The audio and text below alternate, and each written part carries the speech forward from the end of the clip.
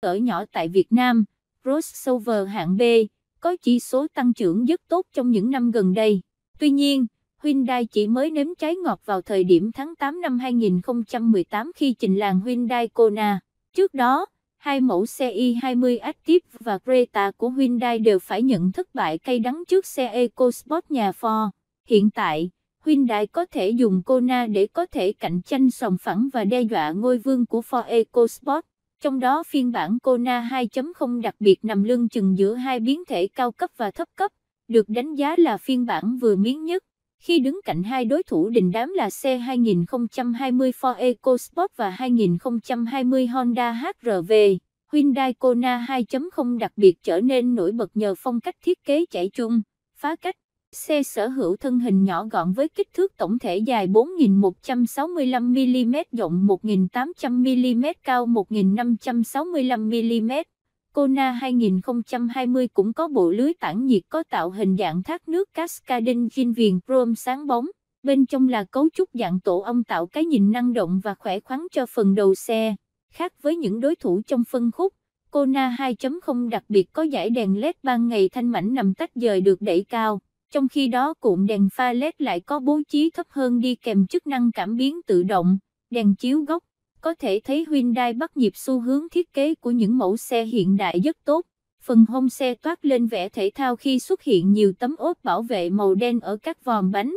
Tương tự, viền cửa sổ và giá nóc trên cao cũng cùng có nền tối màu. Những đường gân dập nổi xuyên suốt thân xe là món đặc sản không thể thiếu để Kona 2.0 đặc biệt 2020 thể hiện chất riêng của mình. Bên cạnh chức năng gập chỉnh điện tích hợp đèn báo rẽ, gương chiếu hậu của xe còn có chức năng sấy kính hiện đại. Dù là dòng SUV cỡ nhỏ nhưng Hyundai lại trang bị bộ vành lớn 18 inch 5 chấu dạng mày phay xước cho Kona 2.0 đặc biệt. Qua đó càng giúp mẫu xe này trở nên thu hút khi lăn bánh trên đường. Nhìn từ sau, Kona 2.0 đặc biệt 2020 trông đầy đặn và cứng cáp nhờ cản sau có kích thước to bản, nhô lên cao. Những đường nét ở đuôi xe đều rất gãy gọn và nam tính.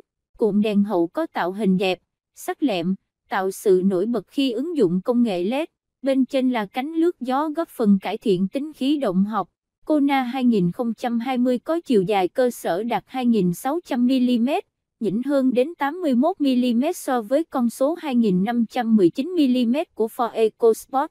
Vì thế khi ngồi trên Kona 2.0 đặc biệt, hành khách sẽ có được không gian để chân thoải mái hơn mẫu xe nhà Ford.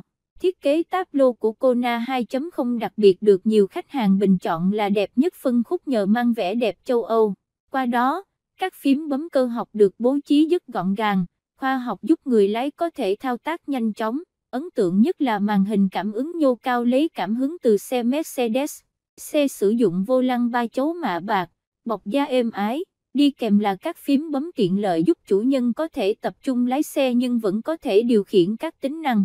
Toàn bộ ghế ngồi trên xe đều bọc da với độ đàn hồi rất êm ái, vị trí ghế lái được chăm sóc đặc biệt khi có thể chỉnh điện 10 hướng. Hàng ghế sau có khả năng gập 60, 40 nhằm tăng thể tích khoang chứa đồ. Kona 2.0 bản đặc biệt 2020 được trang bị hệ thống điều hòa tự động. Dù xe có khả năng làm mát khá tốt nhưng sẽ càng hoàn hảo hơn nếu hàng ghế sau sở hữu cửa gió điều hòa. Kona 2.0 đặc biệt xứng đáng nhận danh hiệu mẫu xe có hệ thống thông tin giải trí hiện đại nhất phân khúc với những tính năng thú vị như màn hình cảm ứng 8 inch, sạc không dây chuẩn chi, định vị dẫn đường, kết nối Apple CarPlay, Bluetooth, Đáng chú ý nhất là bộ xử lý âm thanh cao cấp Akami Premium gồm 6 loa hứa hẹn sẽ mang đến cho hành khách trải nghiệm âm nhạc chất lượng. Ngoài ra, xe Hyundai dòng Kona 2020 còn có chìa khóa thông minh, khởi động bằng nút bấm, cảm biến gạt mưa tự động, gương chiếu hậu chống chói tự động. Dưới nắp cabo của Kona 2.0 đặc biệt là khối động cơ Sanu 2.0 MPI cho công suất tối đa 147 mã lực mô men xoắn cực đại 180 nanomet, đi kèm là hộp số tự động 6 cấp giúp lại cảm giác lái mượt mà nhờ quá trình chuyển số nhanh. Bên cạnh đó, Hyundai còn tích hợp cho xe hệ dẫn động cầu trước 2VKD giúp tăng khả năng bám đường, tăng độ an toàn khi tình trạng mặt đường trơn trượt. Kona bản đặc biệt 2020 có khoảng gầm cao 170mm, con số vừa phải để chủ nhân có thể tự tin băng qua nhiều loại địa hình. Xe có mức tiêu hao nhiên liệu trong đô thị, ngoài đô thị, kết hợp lần lượt là 8.62 lít trên 100 km, 5.72 lít trên 100 km, 6.79 LIT trên 100 km bản danh sách hệ thống an toàn của Kona 2.0 đặc biệt khá dài, đủ để thấy khả năng bảo vệ hành khách của mẫu xe hàng rất tốt. Cụ thể, gồm có 6 túi khí, cruise control, camera lùi, cảm biến lùi, chống bó cứng phanh, cân bằng điện tử, chưa hết. Xe ô tô Hyundai Kona 2020 phiên bản 2.0 đặc biệt còn có hỗ trợ phanh khẩn cấp, phân bổ lực phanh điện tử, hỗ trợ khởi hành ngang dốc, hỗ trợ khởi hành xuống dốc, kiểm soát lực kéo, kiểm soát thân xe, cảnh báo điểm mù, cảm biến áp suất lớp, lớp.